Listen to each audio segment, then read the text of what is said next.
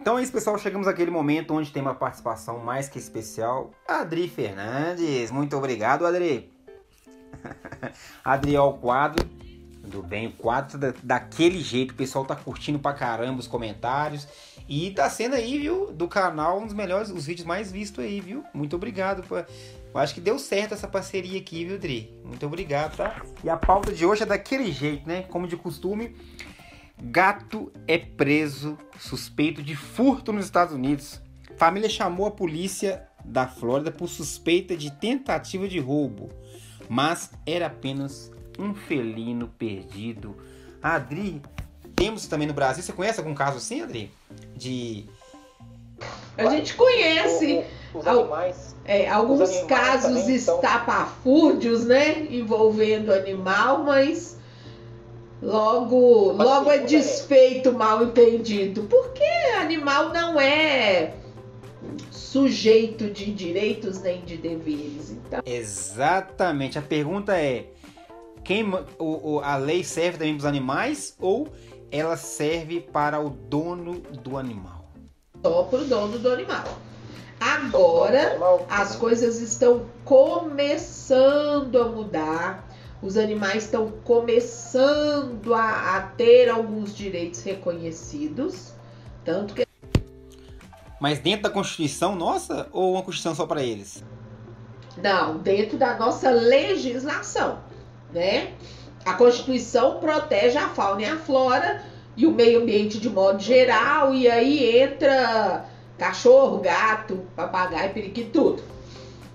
Mas, Uhum. por exemplo, se você maltrata o meu cachorro, que pra mim é um filho, o juiz não vai fazer você me pagar dano moral. Mas agora é capaz de começar. Porque já estão reconhecendo que o animal sente, sofre, não como humano, mas é um sofrimento que precisa ser evitado e é um viver que precisa ser respeitado. Então, ao menos, uma coisa então- que a gente já conseguiu é uma condenação criminal de uma mulher que matava bichos. Ela foi condenada a mais de 12 anos. Primeiro caso no Brasil. E foi uma grande repercussão por causa disso. Porque antes você matava um bicho e ficava por isso mesmo. Agora não.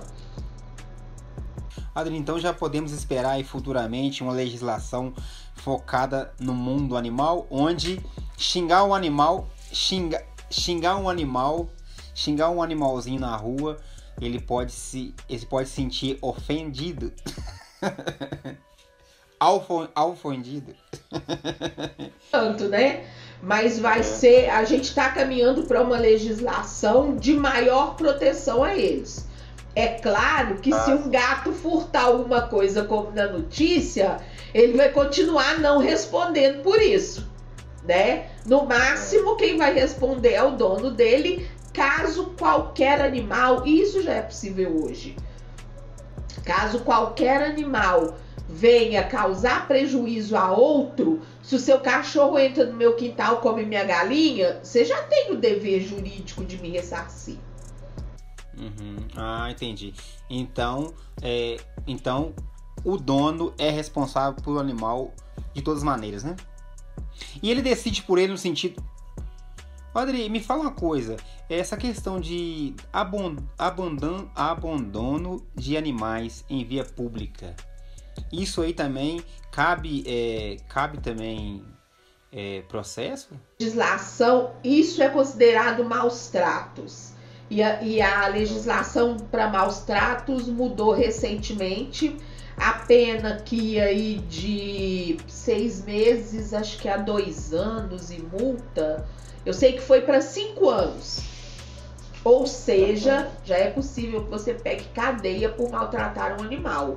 Lembrando que o simples deixar um gato preso num lugar onde tem um pitbull solto que aterroriza esse gato já é um maus Uhum. Ter um bicho doente em casa e não ter dinheiro para levar ele no veterinário já configura maus tratos.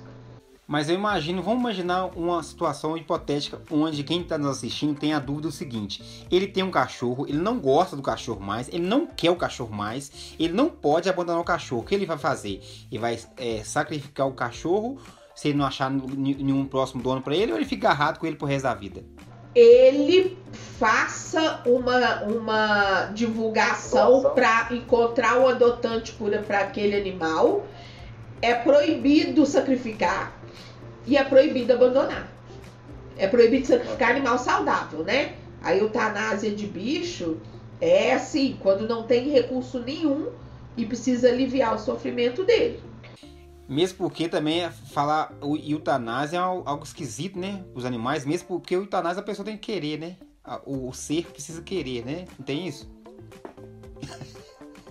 Os animais, como eles respeitam. Em um mês e pouco eu, eu eutanasiei o Bob de, era um pincher de 17 anos, ele já estava no estado de, de neurológico que mesmo que fosse possível responder por si como se fosse um adulto capaz, já não responderia, porque ele estava com um problema neurológico, ele já estava meio doidinho. Entende? Então chega uma hora que não dá mesmo, né? Então você.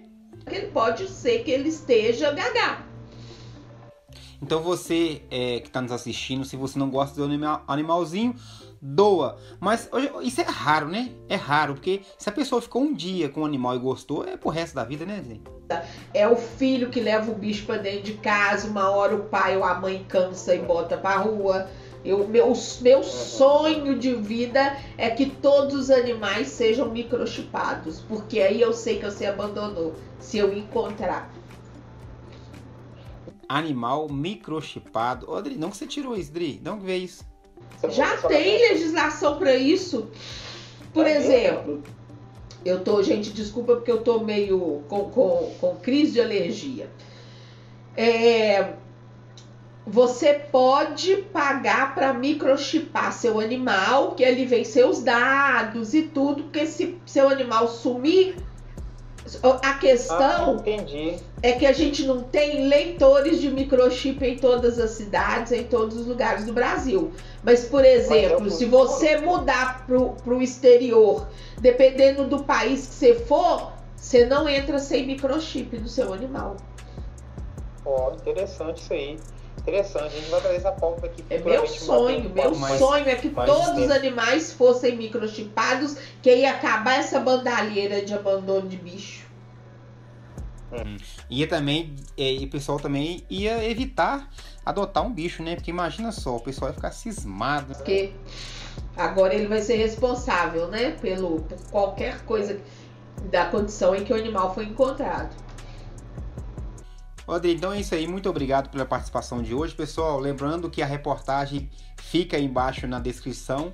Curta, se possível, compartilhe lá no grupão da família. E é isso. Muito obrigado, Adri. Deixa o like, comenta, comenta o que você acha. Vamos microchipar todos os animais mesmo. O problema é que se for é, microchipar os animais, as esposas bravas vão querer microchipar os maridos. Tá bom, pessoal? Então, então assim terminamos aqui mais comentários. até a próxima, pessoal. Valeu, até a próxima. Tchau.